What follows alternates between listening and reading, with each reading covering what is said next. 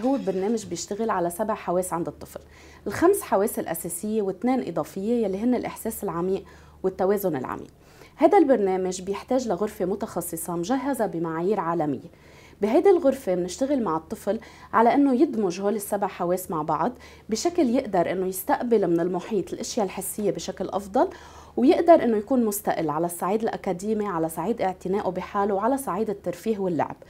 هيدي الغرفة بيستفيد منها الأطفال يلي عندهم توحد الأطفال يلي عندهم تأخر بالنمو الفكري والأطفال يلي